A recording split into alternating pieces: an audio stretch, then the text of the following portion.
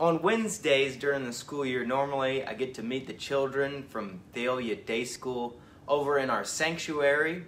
But since we're living during these strange times, I wanted to reach out to all of you wherever you may be. If you're one of our students in the day school right now, I want to say good morning. I want you to remember that you are a cool dude.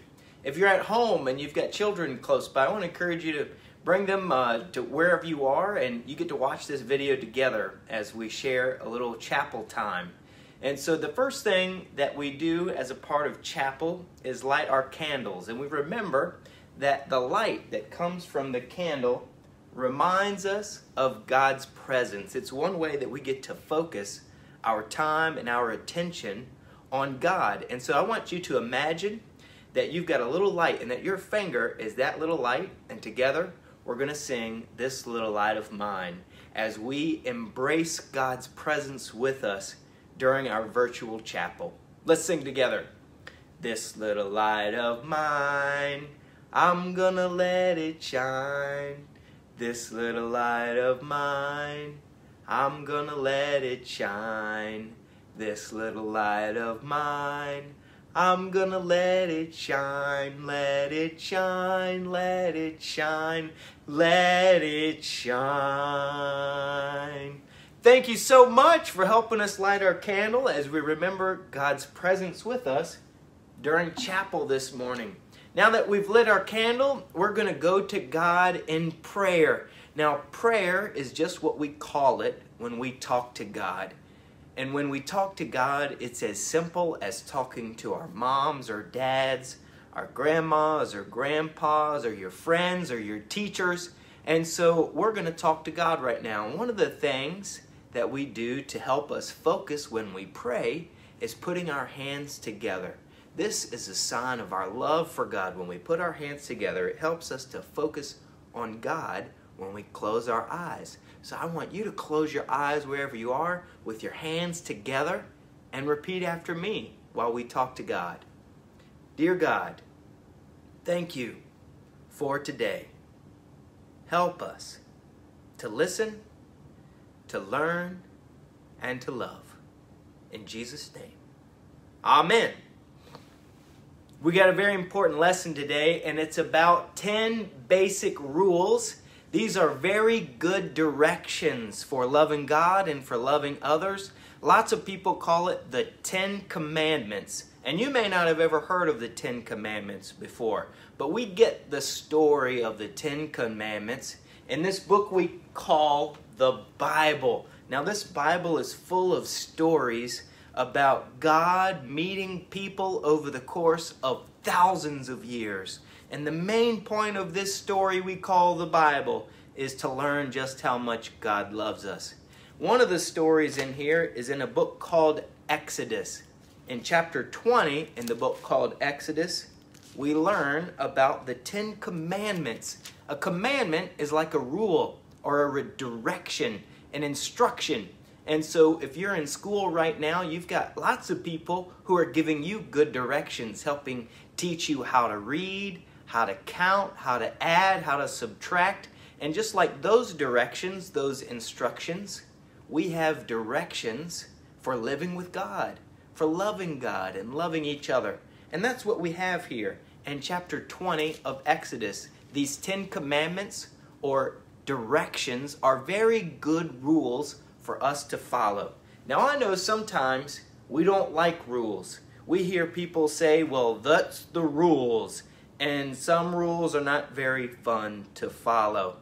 But rules are meant to keep us safe, to protect us, and to help us live happy lives. I want to think about a silly rule for a minute. You know, rules like driving on the right side of the road.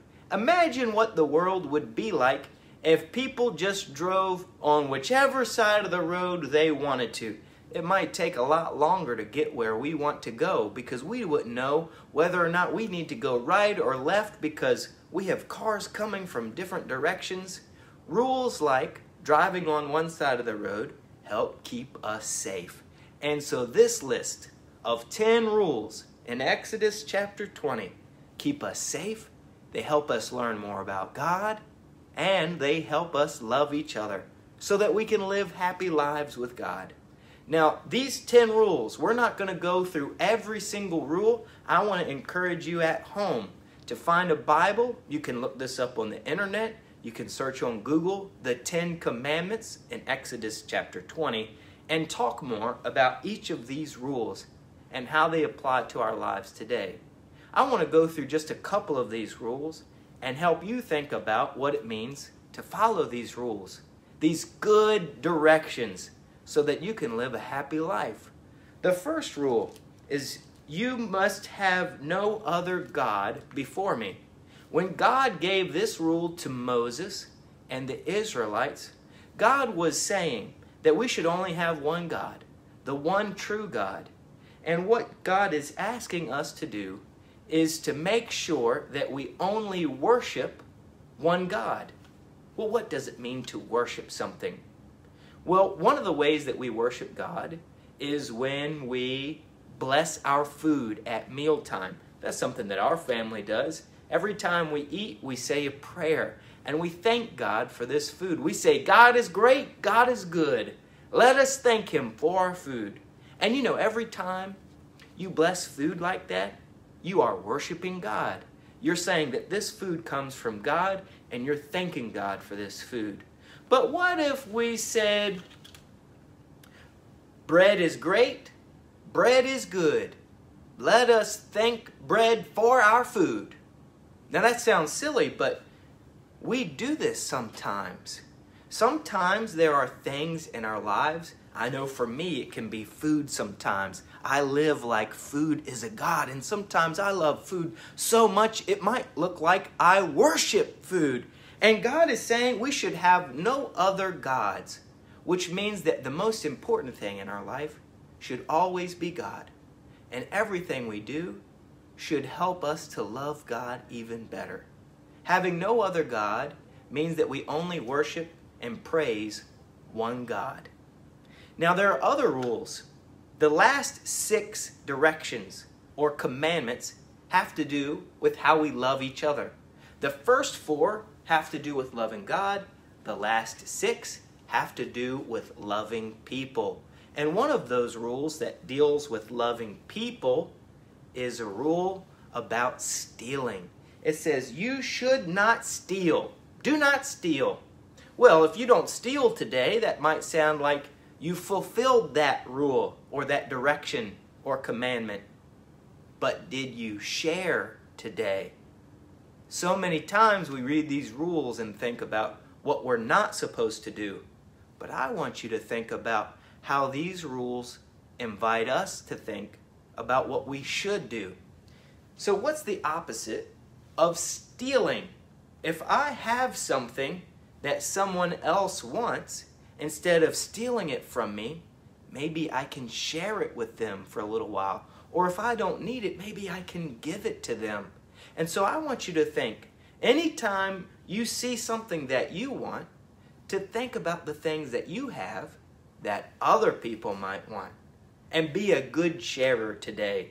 So when you go through this list of 10 good directions, I want you to listen for what it means that you're supposed to do, not just what you're not supposed to do, like the commandment to have no other God. If it says not to have another God, then we should worship the God we have. If it says we're not supposed to steal, then we should share what we have with others. That's one way that we follow these good directions so that we can live a happy life with God and with others. So I hope that this list of 10 good directions that you can find in Exodus 20 will help you learn a little more about how to love God and how to love others. I hope to see you again here soon. In the meantime, have a great week. We're going to say another prayer and we're going to sing another song and we're going to give some final instructions at this time. So, one of the things that we like to do a lot at church is pray. And as a church, it's important for us to talk to God all the time. That's one of the ways that we worship God is by simply talking to God. So let's put our hands back together and you can repeat after me again. Dear God, thank you for these good directions. Help us to remember these rules and that they are supposed to help us to learn how to love you, how to love others, and how to live a happy life. You are our one true God. Thank you for loving us and giving us these rules. In Jesus' name, Amen. All right, now we've said our last prayer, and it's time to sing one of my favorite songs. You might know this song, but if you don't, I want to encourage you to listen along as we sing together Jesus Loves Me.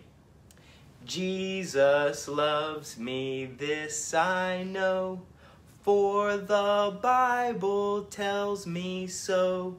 Little ones to him belong, they are weak, but he is strong. Yes, Jesus loves me. Yes, Jesus loves me.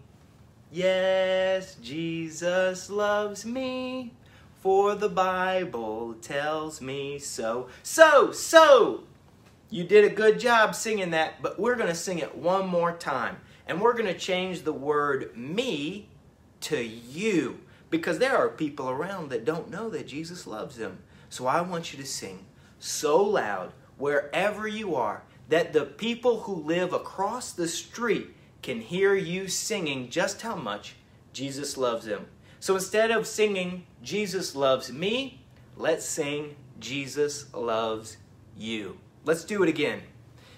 Jesus loves you, this I know, for the Bible tells me so.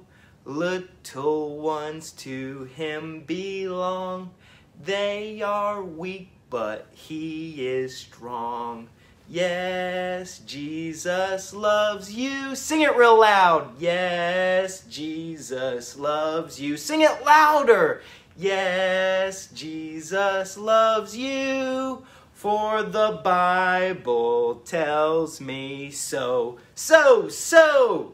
You did a great job. Thanks for being with me for chapel today. Again, I want to see you here soon. In the meantime, remember to learn more about these good directions so you love God, you love others, and you learn to live a happy and blessed life.